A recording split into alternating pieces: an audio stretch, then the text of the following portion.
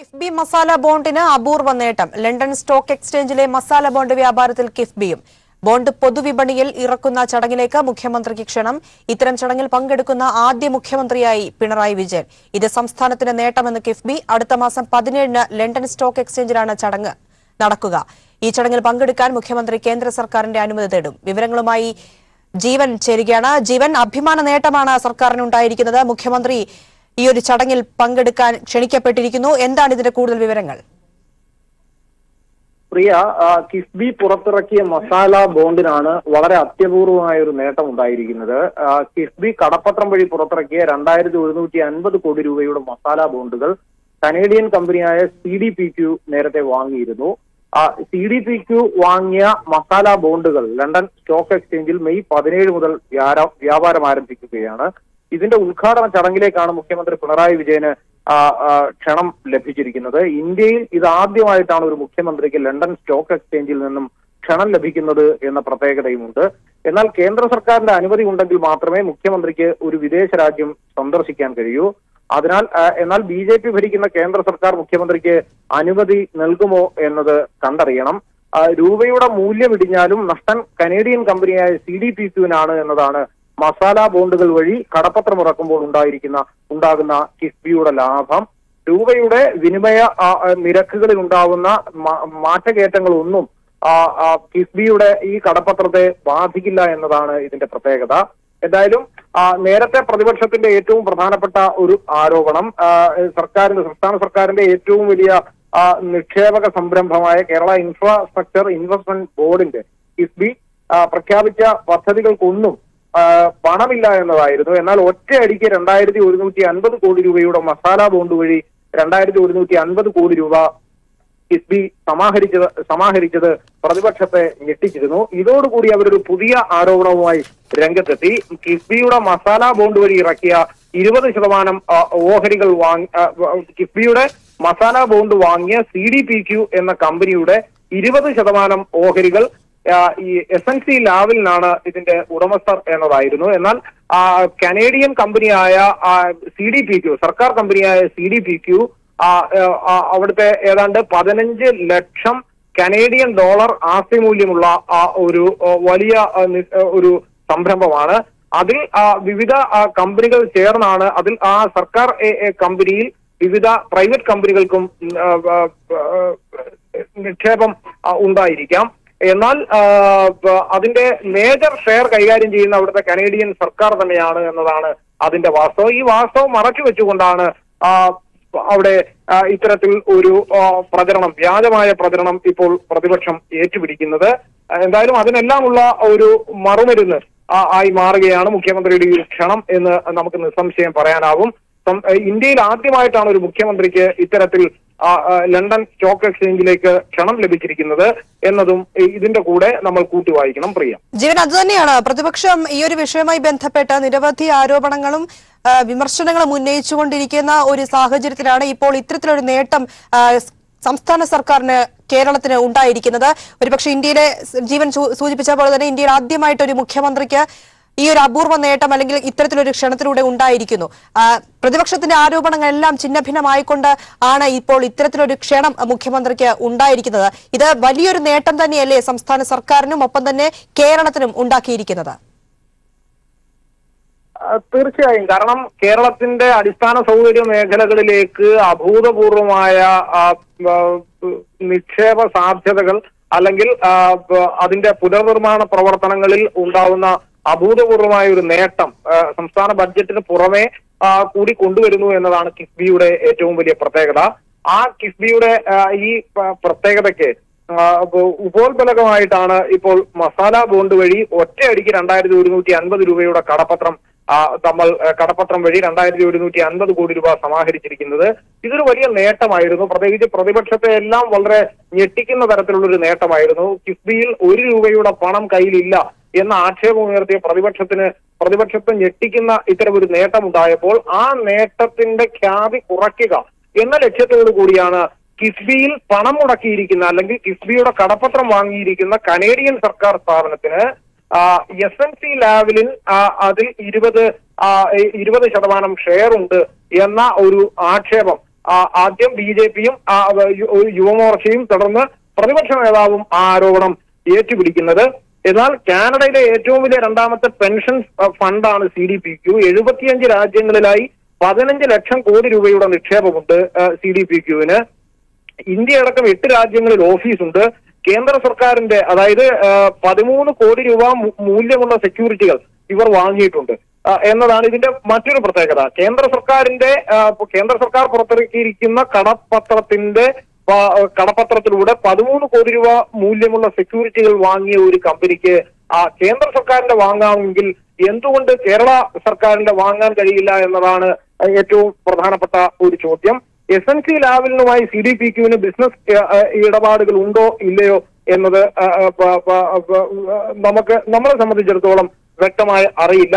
ഇനി അഥവാ ഉണ്ടെങ്കിൽ തന്നെ അവർക്ക് അതൊരു സർക്കാർ സ്ഥാപനം പുറത്തിറക്കുന്ന കടപ്പത്രങ്ങളിൽ എത്രയോ കമ്പനികളിൽ ഏതൊക്കെയോ അവർ വിൽപ്പനയ്ക്ക് വെച്ചിരിക്കുന്ന ഷെയറുകൾ സ്വാഭാവികമായും ആരെങ്കിലുമൊക്കെ വാങ്ങിയിട്ടുണ്ടാവാം. അത് നമ്മളുടെ അടിസ്ഥാനപരമായ അല്ലെങ്കിൽ കിഫ്ബിക്ക് ഡയറക്റ്റ് ബന്ധമുള്ളത് സി ഡി പി ക്യുവുമായി മാത്രമാണ്. സി ഡി പി ക്യുവിന്റെ ഏതാനും ചില ഷെയറുകൾ ഏതെങ്കിലും ഒരു കമ്പനിയുടെ കയ്യിൽ ഉണ്ട് എന്നത് ഒരിക്കലും കിഫ്ബിയുടെ മുൻപിൽ വരുന്ന ഒരു കാര്യമല്ല. സി ഡി പി ക്യുവിന് മാത്രമല്ല കനേഡിയയിലെ മറ്റ് പെൻഷൻ ഫണ്ട് ബോർഡുകൾക്കും ഇത്തരത്തിൽ നിക്ഷേപമുണ്ട് എന്ന് കരുതി. കേന്ദ്ര സർക്കാരുമായി നേരിട്ട് ബന്ധമുള്ള ഒരു ഒരു ഒരു സർക്കാർ സ്ഥാപനത്തെ വ്യാജ വാർത്തകൾ വഴി അതിന്റെ ഖ്യാതി കുറപ്പിക്കുക എന്നതാണ് സ്വാഭാവികമായും ഇന്നത്തെ ഒരു ലക്ഷ്യം. ഇത് സംബന്ധിച്ചുള്ള ഔദ്യോഗികമായ വിശദീകരണം തന്നെ നേരത്തെ വന്നിട്ടുണ്ട്. മസാല ബോണ്ടുകൾക്ക് ഒൻപത് ദശാംശം ഏഴ് രണ്ട് ഏഴ് രണ്ട് പലിശ എന്നത് ഒരിക്കലും ഒരു ഉയർന്ന നിരക്കല്ല എന്നത് നമുക്കറിയാം. കാരണം കിഫ്ബിക്ക് സമാനമായി ആന്ധ്ര സർക്കാരിന് കീഴിലെ ക്യാപിറ്റൽ റീജിയണൽ ഡെവലപ്മെന്റ് അതോറിറ്റി ആഭ്യന്തര കടപ്പത്ര വിപണിയിൽ നിന്ന് പത്ത് ദശാംശം മൂന്ന് രണ്ട് ശതമാനം പലിശയ്ക്ക് ധനസമാഹരണം നടത്തിയിരിക്കുന്നു. നമുക്കറിയാം ഇത്തരത്തിൽ നടക്കുന്ന ഏത് തരത്തിലുള്ള പലിശയുടെ കൂട്ടലിനും കുറയ്ക്കലിനുമെല്ലാം കേന്ദ്ര സർക്കാരിന്റെ വിവിധ ഏജൻസികളുടെ അനുമതി ഉണ്ടെങ്കിൽ മാത്രമേ നടക്കൂ. റിസർവ് ബാങ്കിന്റെ അനുമതി വേണം. ഒപ്പം ഫിനാൻസ് മന്ത്രാലയത്തിന്റെ അനുമതി വേണം.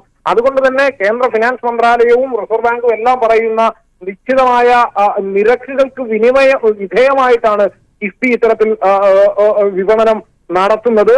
അതിൽ ഏതെങ്കിലും തരത്തിലുള്ള വിവാദങ്ങൾ ഉയർത്തുന്നത് ഒന്നുകിൽ കാര്യങ്ങൾ കൃത്യമായി മനസ്സിലാക്കാത്തത് അല്ലെങ്കിൽ കാര്യങ്ങൾ കൃത്യമായി മനസ്സിലാക്കിയിട്ടും മനസ്സിലാവാത്തത് പോലെ അഭിനയിക്കുന്നു. ഇതിൽ ഏതെങ്കിലും ഒന്നാണ് പ്രതിപക്ഷ നേതാവ് ചെയ്യുന്നത് എന്നത് അവിതർക്കിതമായ വസ്തുതയാണ്. എന്തായാലും മറ്റു പല സ്ഥാപനങ്ങളെയും അപേക്ഷിച്ച് മസാല ബോണ്ട് വഴി കിഫ്ബിക്ക് ഏറ്റവും കുറഞ്ഞ നിരക്കിലാണ് പണം സമാഹരിക്കാൻ കഴിഞ്ഞിരിക്കുന്നത് എന്നതും ഒരു വസ്തുതയാണ്.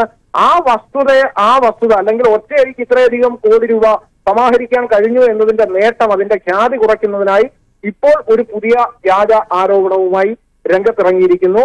കനേഡിയൻ കമ്പനിയായ എസ് എൻ സി ലാവലിന് കനേഡിയൻ സർക്കാരിന്റെ ഒരു പെൻഷൻ ഫണ്ടിൽ നിക്ഷേപമുണ്ട് എന്നത് ഏതെങ്കിലും തരത്തിൽ കിഫ്ബിയെ എങ്ങനെയാണ് ബാധകമാകുക അല്ലെങ്കിൽ കിഫ്ബിക്ക് എങ്ങനെയാണ് ബാധകമാവുക എന്നത് ഒരു കൃത്യമായ വിശദീകരണം തരാൻ പ്രതിപക്ഷ നേതാവ് അടക്കമുള്ളവർക്ക് കഴിയുന്നുമില്ല. ആ പശ്ചാത്തലത്തിലാണ് മസാല ബോണ്ട് ലണ്ടൻ സ്റ്റോക്ക് എക്സ്ചേഞ്ചിൽ വിപണനത്തിനായി ഇറക്കുന്ന പശ്ചാത്തലത്തിൽ കിഫ്ബിയുടെ ചെയർമാൻ എന്ന നിലയിൽ മുഖ്യമന്ത്രി പിണറായി വിജയന് ഇപ്പോൾ ക്ഷണം ലഭിച്ചിരിക്കുന്നത്. പ്രിയ. ജീവൻ തീർച്ചയായും ഈ ഒരു ചടങ്ങ് സാധാരണ ഇത്തരത്തിൽ ഒരു സംസ്ഥാനത്തിന്റെ ബോണ്ട് ഈ ഒരു ചടങ്ങ് നടത്തി ഇങ്ങനെ പുറത്തിറങ്ങാറില്ല. ഇതിപ്പോൾ മുഖ്യമന്ത്രിയെ നേരിട്ട് വിളിച്ചിരിക്കുന്നു മണി മുഴക്കിക്കൊണ്ട് മുഖ്യമന്ത്രി ഈ ഒരു ചടങ്ങ് നിർവഹിക്കാനാണ് ക്ഷണം ഉണ്ടായിരിക്കുന്നത്. ഇനി അടുത്ത ഒരു നടപടിക്രമം എങ്ങനെയാണ്? കേന്ദ്ര സർക്കാരിന്റെ അനുമതി മുഖ്യമന്ത്രിക്ക് തീർച്ചയായും വേണം. അത്തരത്തിലുള്ള കാര്യങ്ങൾ എങ്ങനെയാണ്? പ്രിയ ഇതിന്റെ മെയ് പതിനേഴിനാണ് ഇത്തരത്തിൽ മസാല ബോണ്ട് പുറത്തിറക്കുന്ന ചടങ്ങ് ലണ്ടൻ സ്റ്റോക്ക് എക്സ്ചേ- എക്സ്ചേഞ്ചിൽ നടക്കുക. മുഖ്യമന്ത്രി പിണറായി വിജയനും അതോടൊപ്പം ഇന്ത്യയിലെ എല്ലാവർക്കും വിദേശ രാജ്യങ്ങളിൽ പോകണമെങ്കിൽ കേന്ദ്ര സർക്കാരിന്റെ അനുമതി വേണം അത് നമുക്കറിയാം. കാരണം അവർക്ക് അവിടുത്തെ മറ്റേതെങ്കിലും തരത്തിലുള്ള അവർ ഇന്ത്യൻ സർക്കാരിന്റെ കൂടി ഭാഗമാണ് മുഖ്യമന്ത്രി അടക്കമുള്ള കേരള ഇന്ത്യയിലെ മറ്റെല്ലാ വി വി ഐ പിമാരും സ്വാഭാവികമായും ഇതിന്റെ ഇടപാടുകൾ വിദേശ മന്ത്രാലയത്തിന്റെ അനുമതി ഉണ്ടെങ്കിൽ മാത്രമേ മുഖ്യമന്ത്രിക്ക് പുറത്തു പോകാനാവൂ. മെയ് പതിനേഴിന് നടക്കുന്ന ഈ ചടങ്ങിൽ ഇത്തരത്തിലൊരു ക്ഷണം ലഭിച്ചിരിക്കുന്ന കാര്യം സ്വാഭാവികമായും സംസ്ഥാന സർക്കാർ അല്ലെങ്കിൽ മുഖ്യമന്ത്രിയുടെ ഓഫീസ് വിദേശ മന്ത്രാലയത്തെ അറിയിക്കും ത്രൂ പ്രോപ്പർ ചാനൽ. തുടർന്ന് അവിടെ മുഖ്യമന്ത്രിക്ക് പങ്കെടുക്കാൻ കഴിയുമോ? അല്ലെങ്കിൽ മുഖ്യമന്ത്രിക്ക് അനുമതി പങ്കെടുക്കുന്നതിനുള്ള അനുമതി നൽകേണ്ടത് കേന്ദ്ര സർക്കാരാണ്. അവർ അനുമതി നൽകുമോ എന്നുള്ള കാര്യത്തിൽ നമുക്ക് വ്യക്തതയില്ല. കാരണം നേരത്തെ നമുക്കറിയാം പ്രളയാനന്തര പുനർനിർമ്മാണത്തിന്റെ കാര്യത്തിലടക്കം വലിയ രൂക്ഷമായ രാഷ്ട്രീയമാണ് കേന്ദ്ര സർക്കാർ നേരത്തെ കാണിച്ചത്. എഴുന്നൂറ് കോടി രൂപയുടെ സഹായം യു എ സർക്കാർ തരാം എന്ന് പറയുന്ന ഘട്ടത്തിൽ അത് വേണ്ട എന്ന് പറഞ്ഞവർ കേന്ദ്ര സർക്കാരാണ്. അതടക്കമുള്ള വിവാദങ്ങൾ നിലനിൽക്കുന്ന പശ്ചാത്തലത്തിൽ മുഖ്യമന്ത്രി പിണറായി വിജയനും സംസ്ഥാനത്തിനുമെല്ലാം വലിയ ഖ്യാതി ഉണ്ടാകാൻ സാധ്യതയുള്ള ഒരു ചടങ്ങിലേക്ക് ആ മുഖ്യമന്ത്രിക്ക് അനുമതി അവർ നൽകുമോ എന്നത് തീർച്ചയായും കാത്തിരിക്കുന്ന കാത്തിരുന്ന് കാണേണ്ട ഒരു കാര്യമാണ് പ്രിയ.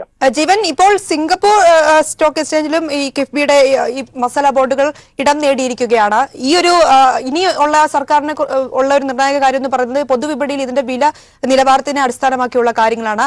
അത് ഏതെല്ലാം ഘടകങ്ങളെ ആശ്രയിച്ചാണ് അതിനെക്കുറിച്ച് കൂടി പറയാൻ സാധിക്കുമോ? പ്രിയ മസാല ബോണ്ടുകൾ എന്നത് നമുക്ക് രാജ്യാന്തര വിപണിയിൽ ഇന്ത്യൻ രൂപയിൽ തന്നെ ബോണ്ട് ഇറക്കി പണം സമാഹരിക്കാൻ കഴിയുന്നു എന്നതാണ് മസാല ബോണ്ടുകളുടെ പ്രത്യേകത. രൂപയിൽ ഉണ്ടാ രൂപയിൽ ആണ് ഈ ബോണ്ട് ഇറക്കുമ്പോൾ രൂപയുടെ വിനിമയ നിരക്കിൽ ഉണ്ടാകുന്ന മാറ്റങ്ങൾക്ക് ബോണ്ട് ഇറക്കുന്ന ആളുകൾ അതായത് കിഫ്ബിക്ക് ബാധകമല്ല എന്നാൽ ബോണ്ട് വാങ്ങുന്നവർക്കാണ് രൂപയിൽ ഇപ്പോൾ സാമ്പത്തിക വിദഗ്ധൻ ശ്രീ കെ എൻ ഹരിലാൽ നമുക്കൊപ്പം ചേരുകയാണ്. ശ്രീ ഹരിലാൽ വളരെ വലിയൊരു നേട്ടമാണ് ഇപ്പോൾ സംസ്ഥാന സർക്കാർ നേടിയിരിക്കുന്നത്. കിഫ്ബി മസാല ബോണ്ടിന് അപൂർവ നേട്ടം ഉണ്ടായിരിക്കുന്നു ലണ്ടൻ സ്റ്റോക്ക് എക്സ്ചേഞ്ചിലെ മസാല ബോണ്ട് വ്യാപാരത്തിൽ കിഫ്ബിയും എത്തിയിരിക്കുകയാണ്. മുഖ്യമന്ത്രി പിണറായി വിജയന് ഇതിന്റെ ചടങ്ങിൽ ക്ഷണം ലഭിച്ചിരിക്കുന്നു. എന്താണ് ഈ വിഷയത്തിൽ താങ്കളുടെ പ്രതികരണം? തീർച്ചയായിട്ടും നിങ്ങൾ പറഞ്ഞതിനോട് പൂർണമായിട്ടും യോജിക്കുകയാണ്. ഇതൊരു നല്ല അംഗീകാരമാണ്. കിഫ്ബിയുടെ ഇതുവരെയുള്ള പ്രവർത്തനം സംബന്ധിച്ച് കിട്ടിയിരിക്കുന്ന ശ്രദ്ധേയമായിട്ടുള്ള ഒരു അംഗീകാരം എന്നുള്ള നിലയ്ക്ക് തന്നെ ഇതിനെ കാണണം. ഇത് കേരളത്തിന്റെ വികസനത്തിന് അന്തർദേശീയ മാർക്കറ്റിൽ നിന്ന് വളരെ അനുഭാവപൂർവമായിട്ടുള്ള ടേംസിൽ നമുക്ക് വിഭവം സമാഹരിക്കാൻ കഴിയുന്നു എന്നുള്ളതാണ് ഇതിന്റെ മെച്ചം. അതുപോലെ തന്നെ കിഫ്ബി ബോണ്ടുകളിൽ നിക്ഷേപിക്കുന്ന നിക്ഷേപകരെ സംബന്ധിച്ചിടത്തോളം അവർക്ക് ആവശ്യമുണ്ടെന്നുണ്ടെങ്കിൽ അത് വിൽക്കാനും വാങ്ങിക്കാനുമുള്ള അവസരം ഈ ലണ്ടനിൽ തന്നെ ലണ്ടൻ സ്റ്റോക്ക് എക്സ്ചേഞ്ചിൽ തന്നെ ഉണ്ടാവുന്നു എന്നുള്ളത് ഈ മസാല ബോണ്ടുകളുടെ ആകർഷണീയത വീണ്ടും പറയും. ഇതിന്റെ ഫലമായിട്ട് വീണ്ടും കിഫ്ബി അന്തർദേശീയ മാർക്കറ്റിൽ നിന്ന് വിഭവം സമാഹരിക്കാൻ ശ്രമിക്കുമ്പോൾ കൂടുതൽ പോസിറ്റീവായിട്ടുള്ള പ്രതികരണം നിക്ഷേപകരുടെ ഭാഗത്തു നിന്ന് ഉണ്ടാകും. അതുപോലെ തന്നെ മെച്ചപ്പെട്ട വ്യവസ്ഥകളുടെ അടിസ്ഥാനത്തിൽ നമുക്ക് വായ്പ എടുക്കുന്നതിനുള്ള സാഹചര്യം കൂടിയാണ് ഇതിലൂടെ ഇപ്പോൾ സൃഷ്ടിക്കപ്പെടുന്നത്. ശ്രീ കെ ഹരിലാൽ ഇപ്പോൾ നമുക്കറിയാം ഈ ഒരു വിഷയവുമായി ബന്ധപ്പെട്ട് ചില ആരോപണങ്ങളും വിമർശനങ്ങളും ഒക്കെ പ്രതിപക്ഷത്തിന്റെ ഭാഗത്തുനിന്നും ഉണ്ടായിക്കൊണ്ടിരിക്കുന്ന ഒരു സാഹചര്യം കൂടിയാണ്. അപ്പോഴാണ് ഇത്തരത്തിലൊരു അപൂർവ നേട്ടം സംസ്ഥാന സർക്കാരിന് ഉണ്ടായിരിക്കുന്നത് ആദ്യമായി ഇങ്ങനെ ഒരു ചടങ്ങിൽ ഒരു മുഖ്യമന്ത്രിയെ ക്ഷണിച്ചിരിക്കുന്നു. കിഫ്ബിയിലെ മസാല ബോണ്ടിന് ഇത്തരത്തിൽ സ്റ്റോക്ക് എക്സ്ചേഞ്ചിൽ ലണ്ടൻ സ്റ്റോക്ക് എക്സ്ചേഞ്ചിൽ അംഗീകാരം ലഭിക്കുമ്പോൾ അത് നമ്മുടെ സംസ്ഥാനം ഒപ്പം തന്നെ രാജ്യാന്തര തലത്തിൽ ഇന്ത്യയ്ക്ക് എത്രത്തോളം വലിയ രീതിയിൽ നേട്ടമാണ് വികസന കാര്യങ്ങളാണെങ്കിലും താങ്കൾ സൂചിപ്പിച്ചു. അത് കൃത്യമായി പറയുമ്പോൾ ഏതെല്ലാം രീതിയിൽ ഈ ഒരു നേട്ടം നമുക്ക് സ്വാധീനിക്കാൻ കഴിയും? ഇതിന്റെ ഒരു ഈ ഒരു നേട്ടത്തിലൂടെ എന്തെല്ലാം കാര്യങ്ങളിൽ ഇനി അങ്ങോട്ട് പോകുമ്പോൾ സാമ്പത്തിക ഭാഗത്തിൽ ഒരു വിജയം നമുക്ക് ഉണ്ടാകാൻ സാധിക്കും? ഇതിന്റെ ഈ കേരളത്തിന്റെ വികസനത്തിന് സർവദേശീയ രംഗത്ത് നിന്ന് വിഭവം സമാഹരിക്കാൻ കഴിയുക എന്നുള്ളതാണ് ഇതിന്റെ നേട്ടം. അതിനുള്ള സാധ്യത ഉണ്ടാവുന്നു അത് കേരളം വിനിയോഗിക്കാൻ ആരംഭിച്ചിരിക്കുന്നു. അതാണ് ഇതിനകത്ത് നിന്ന് വരുന്ന മെസ്സേജ് എന്ന് മാത്രമല്ല ഇപ്പൊ ഈ അന്തർദേശീയ കമ്പോളത്തിൽ നിന്ന് കേരള വിഭവം സമാഹരിക്കുമ്പോൾ അത് ഉയർന്ന പലിശ നിരക്കിലല്ല. വിദേശ നാണയത്തിന്റെ രൂപത്തിലുള്ള കടമല്ല. മറിച്ച് ഇന്ത്യൻ രൂപയുടെ രൂപത്തിലുള്ള കടമായതുകൊണ്ട് ഭാവിയിൽ ഇന്ത്യൻ സമ്പദ്ഘടനയിൽ മാറ്റങ്ങൾ ഉണ്ടാവുകയോ ഇന്ത്യൻ രൂപയുടെ വില ഇടിയുകയോ ചെയ്തു കഴിഞ്ഞാൽ അതിന്റെ ക്ഷീണം കേരളത്തിന്റെ ഖജനാവിന് അതല്ലെങ്കിൽ കിഫ്ബിയുടെ ഫിനാൻസിൽ ഉണ്ടാവില്ല എന്നുള്ളതും ഇതിന്റെ പോസിറ്റീവായിട്ടുള്ള കാര്യമാണ്. തീർച്ചയായിട്ടും ഇത് കേരളത്തിന്റെ ഭാവി വികസനത്തിന് ഏറെ സഹായകരമാണ്. ഒപ്പം തീർച്ചയായിട്ടും ഇത്തരം കമ്പോളങ്ങളിൽ നിന്ന് വിഭവം സമാഹരിക്കുമ്പോൾ കൂടുതൽ ശക്തമായിട്ടുള്ള ഫിനാൻഷ്യൽ ഡിസിപ്ലിന് സംസ്ഥാനം തയ്യാറാകേണ്ടതായിട്ടും വരും തീർച്ചയായും. വളരെ നന്ദി ശ്രീ കെ എൻ ഹരിലാൽ ഞങ്ങളോട് പ്രതികരിച്ചതിന്. വീണ്ടും ജീവനിലേക്ക് പോവുകയാണ്. ജീവൻ ഇപ്പോൾ ജീവൻ പറഞ്ഞുകൊണ്ടിരുന്നത് ഇതിന്റെ അടുത്ത നടപടികളുമായി ബന്ധപ്പെട്ട കാര്യങ്ങളാണ്. മുഖ്യമന്ത്രിയെ ക്ഷണിച്ചിരിക്കുന്നു. മുഖ്യമന്ത്രിക്ക് ഇനിയും കേന്ദ്ര സർക്കാരിന്റെ അനുമതി വേണം. അക്കാര്യങ്ങളുടെ ബാക്കി കൂടി പൂർത്തിയാക്കാം. ആ, പ്രിയ ചോദ്യം ഒന്നുകൂടെ ആവർത്തിക്കാമോ? മുഖ്യമന്ത്രി ഇപ്പോൾ ക്ഷണിച്ചിരിക്കുന്നു. ബാക്കിയുള്ള നടപടിക്രമങ്ങളുടെ കാര്യമാണ് ജീവൻ പറഞ്ഞുകൊണ്ടിരുന്നത്. അത് തുടരാം. പ്രിയ മുഖ്യമന്ത്രിക്ക് ലണ്ടൻ സ്റ്റോക്ക് എക്സ്ചേഞ്ചിൽ നടക്കുന്ന കിഫ്ബിയുടെ മസാല ബോണ്ടുകൾ വിപണിയിൽ ഇറക്കുന്ന ചടങ്ങിൽ പങ്കെടുക്കുന്നതിന് കടമ്പകൾ ഏറെയുണ്ട്. ഒരു മുഖ്യമന്ത്രി എന്ന നിലയിൽ അദ്ദേഹം ഇന്ത്യൻ സർക്കാരിന്റെ കൂടി ഭാഗമാണ്. അതിന് ഒരു വിദേശ രാജ്യത്ത് ഒരു മുഖ്യമന്ത്രിക്ക് പോകണമെങ്കിൽ കേന്ദ്ര സർക്കാരിന്റെ വിദേശകാര്യ മന്ത്രാലയത്തിന്റെ അനുമതി വേണം. അനുമതിയെ സംബന്ധിച്ച് അനുമതി ലഭിക്കുന്നത് ലണ്ടൻ സ്റ്റോക്ക് എക്സ്ചേഞ്ച് ഇപ്പോൾ മുഖ്യമന്ത്രിയെ ക്ഷണിക്കുകയാണ് ഉണ്ടായത്. ഈ ക്ഷണം ഈ ക്ഷണത്തിന്റെ ഇത്തരത്തിലൊരു ക്ഷണം ലഭിച്ച കാര്യം കേന്ദ്ര സർക്കാരിനെ അറിയിക്കണം. താൻ പോകാൻ സന്നദ്ധനാണ് എന്ന കാര്യം കേന്ദ്ര സർക്കാരിനെ എഴുത്തിലൂടെ അല്ലെങ്കിൽ കത്തിലൂടെ അവർക്ക് ആ കാര്യം അറിയിക്കണം. തുടർന്ന് ഈ ഇന്ത്യൻ വിദേശകാര്യ മന്ത്രാലയം ഇതിന്റെ സാധ്യതകൾ പരിശോധിക്കും. നേരത്തെ മുൻകാല മുൻകാലങ്ങളിൽ ഇത്തരത്തിൽ പലപ്പോഴും ഡിപ്ലോമാറ്റിക് ആയിട്ടുള്ള ഇത്തരം കാര്യങ്ങളിൽ വിദേശകാര്യ മന്ത്രാലയം രാഷ്ട്രീയ താല്പര്യങ്ങളോട് കൂടി അനുമതികൾ പലപ്പോഴും നിഷേധിക്കാറുണ്ട്. എന്നാൽ ഇന്ത്യയിലെ ഒരു മുഖ്യമന്ത്രിക്ക് ആദ്യമായി ലണ്ടൻ സ്റ്റോക്ക് എക്സ്ചേഞ്ചിൽ നടക്കുന്ന ഒരു ചടങ്ങിൽ ഒരു വ്യാപാരം നടക്കുന്ന ചടങ്ങിൽ പങ്കെടുക്കാനുള്ള അനുമതി ഒരു ക്ഷണം ലഭിച്ചിരിക്കുന്ന പശ്ചാത്തലത്തിൽ ഇത് നിഷേധിക്കുകയോ അല്ലെങ്കിൽ അനുമതി അംഗീകരിക്കുകയോ ചെയ്താൽ രണ്ടായാലും ചരിത്രമാണ് നിഷേധിച്ചാൽ അതൊരു വലിയ വിവാദമാവുകയും ചെയ്യും. സ്വാഭാവികമായും മുഖ്യമന്ത്രി ഈ കാര്യത്തിൽ കേന്ദ്ര സർക്കാരിന്റെ അനുമതി തേടും എന്നുള്ള കാര്യം ഉറപ്പാണ്. വരും ദിവസങ്ങളിൽ മറ്റു പല സ്റ്റോക്ക് എക്സ്ചേഞ്ചുകളും ഇത്തരത്തിൽ ലിസ്റ്റ് ചെയ്യാനുള്ള കിഫ്ബിയുടെ ഈ മസാല ബോണ്ടുകൾ ലിസ്റ്റ് ചെയ്യാനുള്ള സാധ്യതയും ഉണ്ട് എന്നതാണ് കിഫ്ബിയുടെ വൃത്തങ്ങൾ നമുക്ക് നൽകുന്ന സൂചന. പ്രിയ. ശരി. എന്തായാലും കിഫ്ബി മസാല ബോണ്ടിന് അപൂർവ നേട്ടം വന്നിരിക്കുന്നു. ലണ്ടൻ സ്റ്റോക്ക് എക്സ്ചേഞ്ചിലെ മസാല ബോണ്ട് വ്യാപാരത്തിൽ കിഫ്ബിയും ഉൾപ്പെട്ടിരിക്കുന്നു. ബോണ്ട് പൊതുവിപണിയിൽ ഇറക്കുന്ന ചടങ്ങിലേക്ക് മുഖ്യമന്ത്രി പിണറായി വിജയന് ക്ഷണം ലഭിച്ചിരിക്കുകയാണ്. ഇത്തരം ചടങ്ങിൽ പങ്കെടുക്കുന്ന ആദ്യ മുഖ്യമന്ത്രിയായി പിണറായി വിജയൻ മാറിയിരിക്കുന്നു. ഇത് സംസ്ഥാനത്തിന് നേട്ടമെന്ന് കിഫ്ബിയും പ്രതികരിച്ചിരിക്കുകയാണ്. അടുത്ത മാസം പതിനേഴിനാണ് ലണ്ടൻ സ്റ്റോക്ക് എക്സ്ചേഞ്ചിൽ ഈ ചടങ്ങ് നടക്കുക. ഈ ചടങ്ങിൽ പങ്കെടുക്കാൻ മുഖ്യമന്ത്രി കേന്ദ്ര സർക്കാരിന്റെ അനുമതി തേടും. ഇതിന്റെ വിശദാംശങ്ങളാണ് ജീവൻ നൽകിയത്. അയ്യപ്പന്റെ പേരിൽ വോട്ട് തേടിയ സുരേഷ് ഗോപി ചട്ടലംഘനം നടത്തിയെന്ന് മുഖ്യ തെരഞ്ഞെടുപ്പ് ഓഫീസർ ടിക്കാറാം മീണ സുരേഷ് ഗോപിക്ക് നോട്ടീസ് നൽകിയ കളക്ടറുടെ നടപടി ശരിയാണ്. ദൈവത്തിന്റെ പേര് വെച്ച് വോട്ട് തേടുന്നത് പെരുമാറ്റ ചട്ടലംഘനമാണെന്നും ടിക്കാറാം മീണ പറഞ്ഞു. തെരഞ്ഞെടുപ്പ് പെരുമാറ്റച്ചട്ടം ലംഘിച്ചതിന് തൃശൂർ ലോക്സഭാ മണ്ഡലം എൻ ഡി എ സ്ഥാനാർത്ഥി സുരേഷ് ഗോപിക്ക് വർണാധികാരി കൂടിയായ കളക്ടർ നൽകിയ നോട്ടീസ് ശരിവെച്ചാണ് മുഖ്യ തെരഞ്ഞെടുപ്പ് ഓഫീസർ ടീകാറാം മീണ രംഗത്തു വന്നത്. കളക്ടറുടെ നടപടി ശരിവെച്ച അദ്ദേഹം സുരേഷ് ഗോപി പ്രാഥമിക പെരുമാറ്റച്ചട്ട ലംഘനം നടത്തിയതായി വ്യക്തമാക്കി. Collector has reach to a right decision and after considering the speech and the content of the speech she has applied her mind and issued the notice correctly. നോട്ടീസിന് ലഭിക്കുന്ന മറുപടിക്ക് ശേഷമാകും തുടർ നടപടികൾ ഉണ്ടാകുക. വർണാധികാരിയുടെ നോട്ടീസിനെ ചോദ്യം ചെയ്ത ബി ജെ പി നേതാക്കളുടെ നടപടിയെയും ടിക്കാറാം മീണ ശക്തമായി വിമർശിച്ചു. എന്തോ ഒരു ഗതികേടാണ് ഒരു ഭക്തനെ സംബന്ധിച്ച്. ഇഷ്ടദേവന്റെ നാമം. എന്ത് ജനാധിപത്യമാണിത്? സുരേഷ് ഗോപിയുടെ ഈ പ്രതികരണം സാമൂഹ്യ സൗഹൃദം തകർക്കുന്ന നടപടിയായാണ് കമ്മീഷൻ വിലയിരുത്തുന്നത് there is an intention between this to disturb the social harmony and i am surprised and shocked that why certain political parties are very particular to use the use the religion and uh, god only for getting the political votes this is not good for democracy ദൈവത്തെ വോട്ടിനായി വലിച്ചിഴക്കരുതെന്നും മതവും വിശ്വാസവും വ്യക്തിപരമാണെന്നും commission വ്യക്തമാക്കി.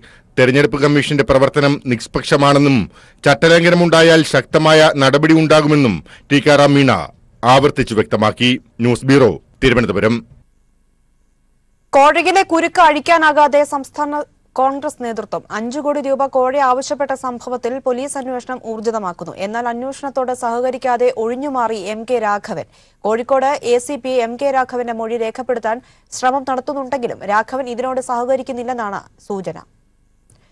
ലതീഷ് ചേരുകയാണ്. Latheesh M K രാഘവന്റെ മൊഴി ഇന്ന് A C P എടുക്കും. എന്നാൽ ഇതുമായി എം കെ രാഘവൻ സഹകരിക്കുന്നില്ല എന്നാണ് മനസ്സിലാക്കാൻ സാധിക്കുന്നത്. എന്താണ് നിജസ്ഥിതി? പ്രിയ എം കെ രാഘവന്റെ ഒളിക്യാമറ വിവാദത്തെ തുടർന്ന് അദ്ദേഹത്തെ അദ്ദേഹത്തോട് നേരിട്ട് ഹാജരായി മൊഴി നൽകാനാണ് അന്വേഷണ ഉദ്യോഗസ്ഥർ പറഞ്ഞിരുന്നത്. എന്നാൽ അദ്ദേഹം ഇതുവരെ മൊഴി നൽകാനായി പോലീസിന് മുമ്പാകെ അല്ലെങ്കിൽ അന്വേഷണ ഉദ്യോഗസ്ഥർക്ക് മുമ്പാകെ എത്തിയിട്ടില്ല. ഈ മൊഴിയെടുക്കാൻ ഹാജരാകണമെന്ന് ആവശ്യപ്പെട്ടുകൊണ്ട് deputy police commissioner A K Jamaluddin കഴിഞ്ഞ ദിവസം രാഘവന് നോട്ടീസ് നൽകിയിരുന്നു. എന്നാൽ എന്ന് ഹാജരാവാൻ സാധിക്കുമെന്ന് അദ്ദേഹം കൃത്യമായ ഒരു മറുപടി പോലീസിന് നൽകിയിട്ടില്ല എന്നാണ് നമുക്ക് മനസ്സിലാക്കാൻ വേണ്ടി കഴിയുന്നത്. തെരഞ്ഞെടുപ്പ് പ്രചാരണ പരിപാടികൾ നേരത്തെ നിശ്ചയിച്ചത് കാരണം ഒഴിവ് ലഭിക്കുന്ന അവസരത്തിൽ ഹാജരാവാം എന്ന് അദ്ദേഹം പോലീസ് ഉദ്യോഗസ്ഥർക്ക് ഏഹ് മുമ്പാ- പറഞ്ഞതായും വിവരമുണ്ട്.